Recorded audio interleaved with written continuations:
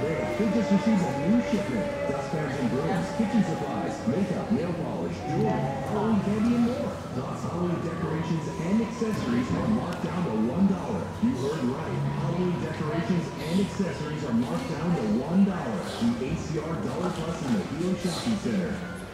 Was one of the handful of seedlings brought to Hawaii by early Polynesian settlers and nurtured to thrive in their new island, Just as the seedlings Please,